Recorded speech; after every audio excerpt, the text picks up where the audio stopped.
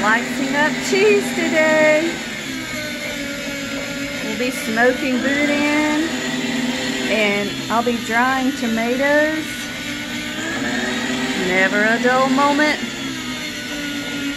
on our little homestead. Hello friends, welcome back.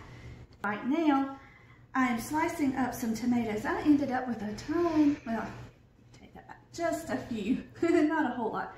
Just some extra tomatoes and we were going to throw them away and my heart just wouldn't let me. I cannot throw away extra food. And I'm so glad I pulled them out of the trash can because once I sliced one up, they were so good. So what I am doing with those is slicing them and I'm going to dehydrate these to make some tomato powder. My friend Mary, she did some this summer, just a few weeks ago, and I had seen it on a canning site on Facebook, but I've never had enough tomatoes to actually do it myself, but hers was so pretty, and I kept looking at those tomatoes sitting so sadly in the trash, and I just had to pull them out. So now I'm going to make my own. I'm going to finish slicing up my tomatoes, and get those going. But I wanted to show you our cheese that we did after our meat. I had a big log of cheese that my friend brought down from Pennsylvania. One of my favorite spots in Lancaster. So um, I sliced it up into little thin slices like you would get at the store. And I had bought, we saw it on the, um, the unboxing video where I got my new what do you call this? A vacuum sealer. And I sliced it up and look, I'm so excited. We got eight packs and each one is eight ounces. I think that's pretty awesome.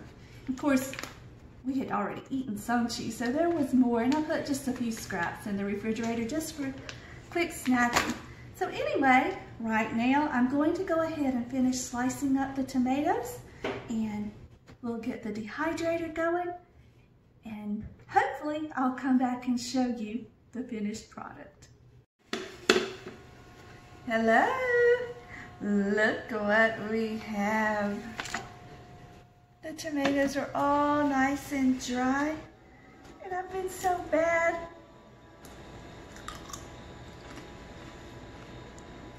They're so good, I'm sorry. I never dreamed dry tomatoes were this good. But today, we need to get them put away. So what I want to show you, I'm just going to do a few, just to give you an example. We're going to put some into our coffee grinder and just grind them up for fine powder. And we can use that powder later for soups. Um, you can put it over rice when you're cooking rice and get it done. Mm, it just adds such good flavor. So here we go. Just put a few slices in there that were dry. And pulse it.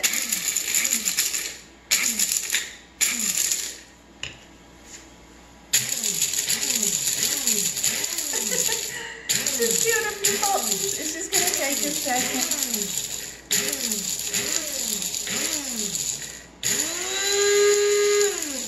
We also got all of our jerky done, and it did much better than the other day when we smoked it.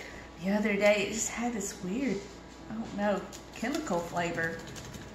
And it got way too done, because it was the first time he had used that smoker. But it turned out really well this last time. And we've eaten almost all of it. Here we go. Here's the powder. Let me unplug it. And that way you can see.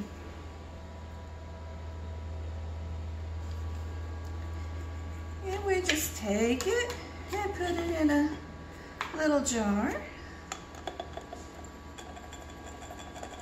Do your best not to spill it and make a mess. Uh, there we go. We can grind up the rest and um, save it for later. But for right now, I'm not ready to grind all of it. So I'm just going to put the rest of the slices in a jar. Now, I wanted you guys to see how amazing these little guys look. and wanted you to know if you've never had dried tomatoes, oh my, if you have extra tomatoes lying around, it is worth, can you hear how crispy they are? It's worth your time. They're delicious. So, until next time, my friends, I will see you later. Be blessed.